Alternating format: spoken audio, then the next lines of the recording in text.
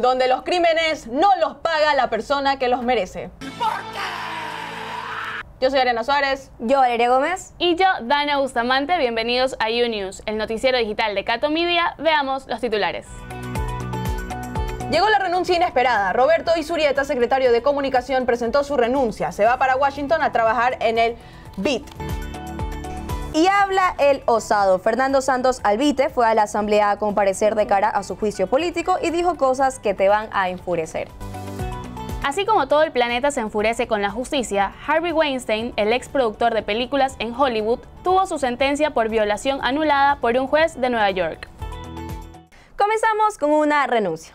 Así es, muchachos, una renuncia en el gobierno. Sade Fritchie se fue. ¿Se fue? Se fue. Ah, no, mentira, pero esperamos que en un futuro sí. En realidad, quien renunció fue el secretario de Comunicación, Roberto Isurieta. El Robert de Carondelet no soportó las últimas crisis comunicacionales y le dieron el dulce adiós. Pero no se preocupen, su castigo fue bien severo, yéndose a trabajar a Washington al Banco Interamericano de Desarrollo. Ahora quedaba espectacular quién sería el nuevo o la nueva secretario o secretaria de comunicación, pero ya nos llegó la info. Se llama Irene Vélez. Su currículum dice que es máster en acción política, fortalecimiento institucional y participación ciudadana en el Estado de Derecho, lo que sea que eso signifique, de la Universidad Francisco de Vitoria y licenciada en Ciencias Políticas y Relaciones Internacionales de la Universidad Casa Grande. En todo caso, no dice cuánta experiencia tiene en manejar crisis comunicacionales, que van desde farras no oficiales hasta crisis diplomáticas. Pero le deseamos buena suerte.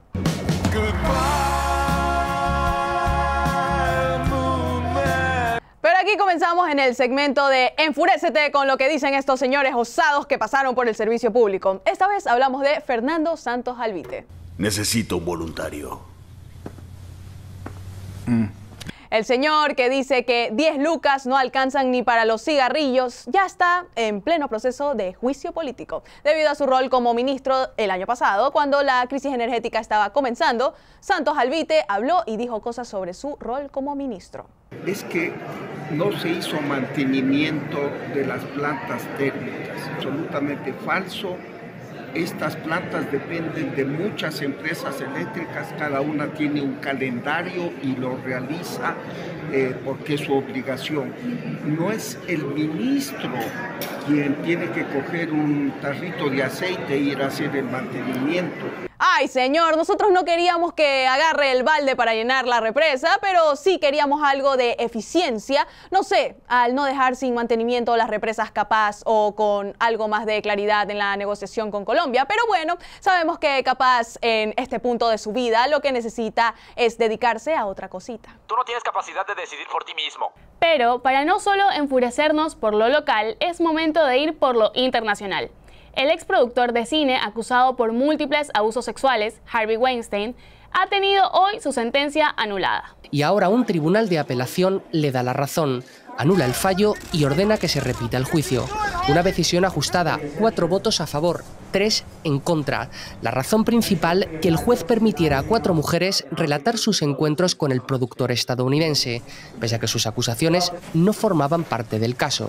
Así es. Un juez de Nueva York ha determinado violación del debido proceso debido a que en el caso de Weinstein se utilizaron declaraciones de casos muy viejos, rompiendo con la naturaleza del caso e influyendo demasiado en el jurado, lo que es considerado como un juicio injusto. Así es, el caso icónico del movimiento Me Too se ha caído por algo singular, juzgar desde lo mediático por sobre el debido proceso. ¿El sistema está roto? Sí. ¿Debemos seguir más al debido proceso que a lo mediático? También. Es horrible que un abusador serial vaya a salir libre completamente. ¿La cultura de la cancelación arruina la carrera de los acusados? Pues ya vemos que no. Señoría, llamaré otra vez a todos mis testigos sorpresa. No, otra vez no. Ustedes vayan a no cancelarnos su like, comentario y compartido. Y sean ordenados así como estos perritos.